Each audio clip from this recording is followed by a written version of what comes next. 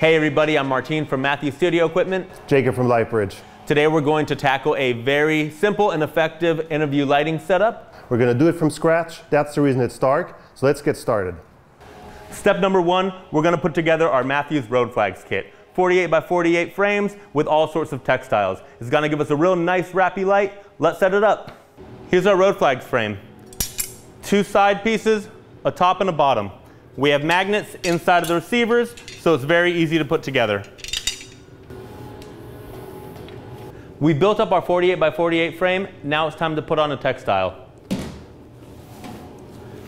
What we have here in our Road Flags kit are two pockets and two elastics on the end.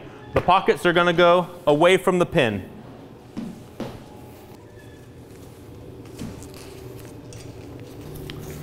We're ready to mount this onto a portable, lightweight kit stand. Here we go. I got my kit stand. I have a two and a half inch grip head on top of it. Very portable, lightweight option. Let's get this guy rigged into our stand.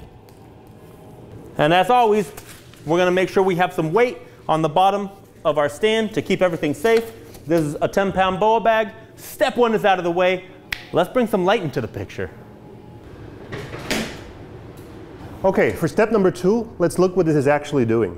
So the great thing about big sources is, right, it's going to wrap around really beautifully. So first thing we want to do is we want to set the correct angle. So just open this up, come down a little bit, see how more light's happening right here. Let's take it up a little bit, right, because you always want to kind of make sure the right eye light. As soon as you adapt the surface, make sure your light's still on us. And uh, then always come to the camera position, right, to check again, see how it's wrapping around, see what the eye light is doing. So that kind of could be nice if we want to. We could wrap it around more, just meaning walk around the flag a little bit to the front. Once again, as soon as you do this, you always want to go back to adapt how your light's going. Actually, it's kind of cool. Sometimes you can spot it down, play around a little bit. Most important thing is look at the light. See what you like. That's the most important thing about this process over here. Okay, this is nice and rapid. It's going all the way around because the, uh, the flag is big enough, so it's wrapping around to the other side of Martine's face. That's a great basic way to start. But now let's bring up some quality. Oh. the yeah. C-Kit Go basically is designed for interview setups, right? So you got two stands, Diffusion 3, Diffusion 4, and 50s, and you got smaller ones, you know, you want to say you want to add a kicker, you want to add something to the dark clothes, that's what it's great for. But let's get to this. We really want to concentrate for the face to do a really simple setup right now.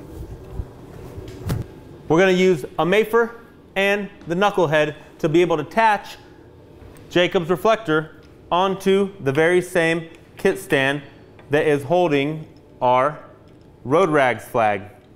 I'm going to put it on there so that we have a nice secure mount. And now we have the knucklehead. So Jacob's going to be able to really articulate and be able to find exactly where he needs his reflector to work. So to kind of elevate the face a little bit, right, we want to have a little bit more contrast here, but we really want to carefully wrap around to the other side. We're going to use a C-wheel to mount on here to the knucklehead, and always to keep the reflectors protected, take out the sleeve. Easy, just push it back, put the C-wheel here to the back, fix it down. Off goes the sleeve. it has loops here, so you can easily hang it onto the stand. Now we're going to mount it. And always take care, we want to really uh, keep the control basically of where we want the light to go. So I'm going to fix this all down, make sure everything's secure and safe. Open up the knucklehead, and now we can start to see what this reflector does, right?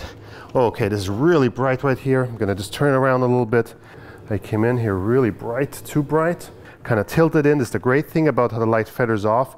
I really get a chance to put it to the level where we want to have it, right? Now we're going to take it down a little bit. This is way too much.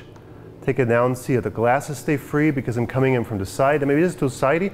So we want to have a little bit more backlit. Just pan in from the back. There we go. Now we still can decide the intensity, but we want the light to go.